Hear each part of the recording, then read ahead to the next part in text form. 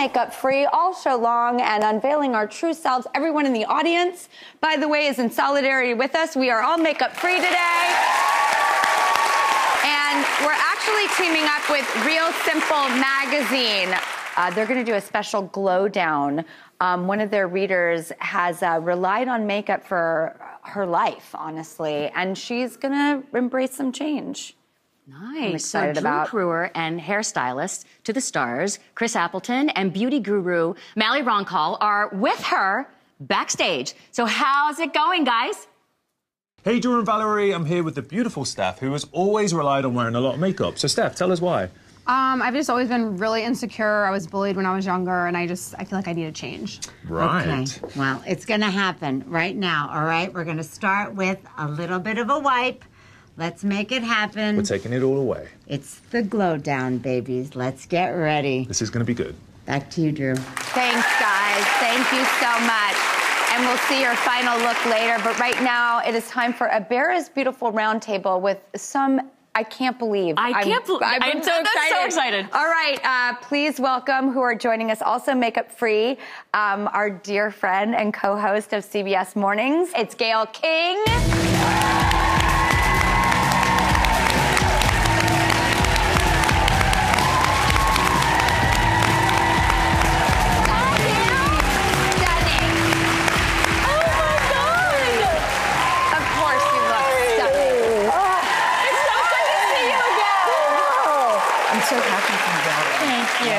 You. Well, next, we fell in love with her on The X Files, The Crown, and Sex Education. Please welcome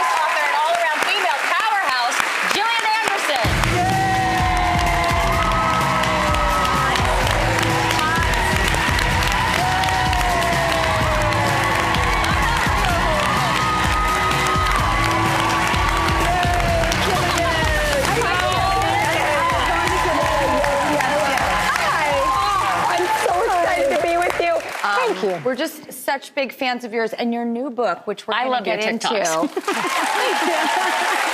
to get into it. Why don't we all have a seat? Have a seat? Okay.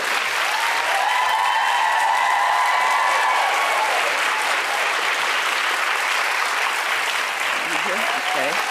So, did anyone? It's funny. I don't go into these things thinking twice about them. I'm very makeupless most of my life, and the monitor is playing some real tricks on me today. Every time I get a glimpse of myself, I notice myself like adjusting my hair as if that's going to like change it. Like, what? How do you guys feel?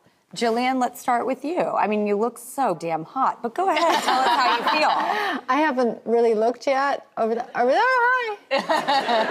um, I am hiding behind my glasses a little bit. Um, I, I often don't wear makeup when I'm doing um, like TikTok posts and stuff. Um, but what I am aware of is the fact that I'm I'm uh, very aware of the lighting. Like I I, I do it in a spa. I walk around seeing where the light is best before I push record. So that obviously means that I care and try and uh, get the best lighting, which is, you know, it, it doesn't always translate, but I, I'm, I am Bane.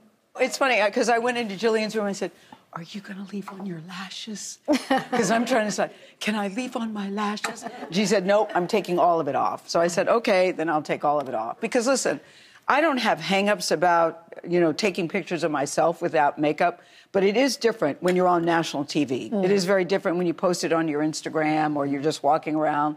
But I have experiences when I'm walking around outside and people will hear me talk and they said, You kind of sound like Gayle King. Are you her? and I go, Yes. And then they'll say, Are you in disguise? I go, No, this is my face. This is this is my natural beauty. And they go, Oh, but you look so good. And you know that's not what they're thinking. Just for someone to say, Are you in disguise is an indication of how drastically I think I look without makeup. Mm. But I don't want to be a slave to it. My mother used to say, don't leave the house without makeup, always have your makeup done. And I decided I don't want to be that guy. I don't. Well, it's interesting that you bring up your past or mm. childhood because uh-huh. I wondered where is it in our makeup, pun intended, mm-hmm. that we get sent some type of message of how we're supposed to present ourselves, what's best, and what is less than. And I think some of it's parents, right? I mean, Yes. or, mo- or moms. I mean, I didn't have that. I've met a couple actresses along the way who have said, when I was 16, my mom took me to such and such store and and showed me how to apply makeup. Now, my mom's never worn makeup unless it's a, you know, unless a, you know, on the very rare occasion. And so that's what I grew up with, and so it's quite normal for me to experience that for myself and to see her that way. But I can imagine if you have a mother who takes an hour, hour and a half in the morning to get ready before she leaves the house, or that's what you were told when you grew up, it's harder to let go of that and to allow yourself to be imperfect. I think there's something to be said for um, by the time you get to this age, there's such a relief of you either take me the way I am right now, or we're not. I mean, this is it. This is I'm lovable just like this because of my heart. Um, okay, we're going to get into your book, which is all about Yes. women's fantasies. It's the most amazing book. And tell everybody about the book because Yeah. it is just so powerful, so incredible. Want is the title, Uh, th- there was a book in the 70s by Nancy Friday called My Secret Garden. which I don't know about. And now that I know about it, I'm going to re- read it immediately. It feels like the female Kinsey like revelation. Yeah.